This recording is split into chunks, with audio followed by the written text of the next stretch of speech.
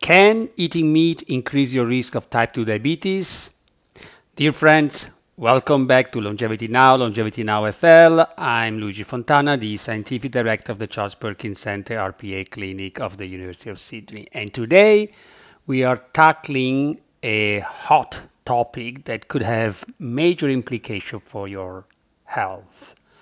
We are diving into a fascinating new study just published in the prestigious Lancet Diabetes and Endocrinology that takes a deep look at how different types of meat, both red and white, might impact your risk of developing type 2 diabetes, a major problem, major disease with huge consequences for your cardiovascular, kidney, and uh, dementia, retina, so blindness. Many, many bad things happens when you have type 2 diabetes. This study just published is one of the most comprehensive study to date, analyzing data from 31, yes, 31 cohorts across five global regions and involving nearly 2 million adults. Okay, so it's a huge study. It's not you know one minor study.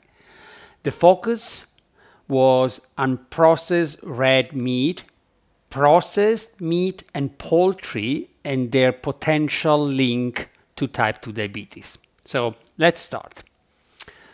What are the results? The results in summary is that increased consumption of all three types of meat was linked to a higher risk of type 2 diabetes.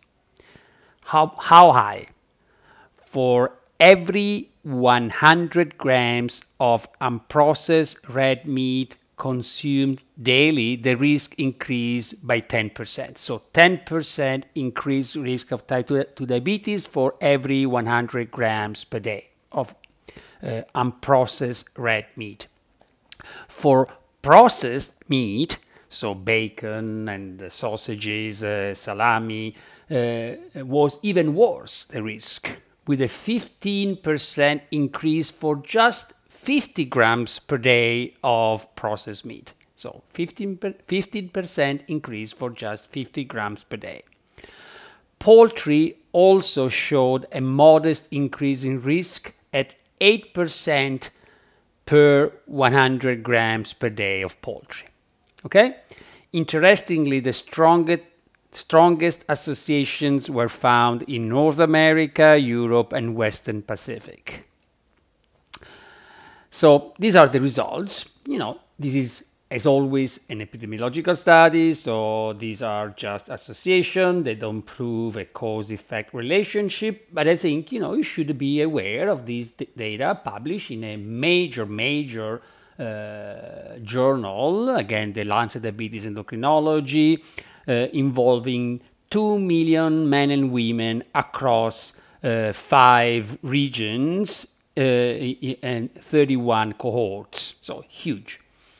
So why does meat increase diabetes, diabetes risk? Well, there are several, I don't have time to go into the details, but there are several hypotheses, theories. First of all, red meat is high in saturated fats, and most importantly, in methionine and branched amino acids that I, as I have explained in other videos and in review articles that we published in Nature Review endocrinology, uh, cell reports, and uh, cell, uh, uh, more recently in Nature Review Molecular Cell Biology, the most important uh, uh, review journal in the world with a huge impact factor. Basically, excessive intake of some essential amino acids is triggering insulin resistance, is impairing insulin sensitivity that, as I've explained several times, insulin resistance, hyperinsulinemia, activation of the insulin IGF-1 pathway. This is promoting not only diabetes, but is also promoting cardiovascular disease, dementia, cancer, and accelerated aging, uh, especially in people with abdominal obesity. Uh, mm, another mechanism is that processed meat contain harmful additive additives like nitrates, which may contribute to diabetes. Again, I don't have time to go into the details of the molecular mechanism, plus high temperature cooking methods, because most people they eat their meat grilled, uh, uh, can create compounds that promote inflammation and uh, oxidative stress. However, as I said, the study isn't without its limitation. First of all, is epidemiological association data. Uh, the researchers pointed out that the dietary data was often based on a single measurement, so that's a limitation, which might underestimate the true risk. Also, the study didn't include much data from Africa, the Middle East, and South Asia, highlighting the need for more research in these regions. In conclusion, wild meat, particularly processed and red meat, is linked to higher risk of type 2 diabetes, and there are several data now supporting that. You know, the idea that you eat a high protein diet and you fight obesity and type 2 diabetes is false is because if you go on a restrictive uh, ketogenic high protein diet you have a calorie restriction and therefore basically by being calorie restricted you have a transient improvement in your risk of diabetes and uh, you lose weight you lose visceral fat. But this is because of calorie restriction not because you know you are consuming a high protein diet. But on a long term people who are eating high protein diet as this study suggests have an increased risk of type 2 diabetes and many other uh, diseases, including cancer, dementia, cardiovascular disease, and uh, and others. Uh, uh, and these data are very important for informing policies to reduce meat consumption for promoting public health. The relationship between poultry and diabetes needs more investigation, but the study adds to the growing evidence that diet plays a crucial role in preventing type 2 diabetes and chronic diseases. Thank you for watching. Uh, if you found this video informative, please hit the like button and subscribe for more health in insights.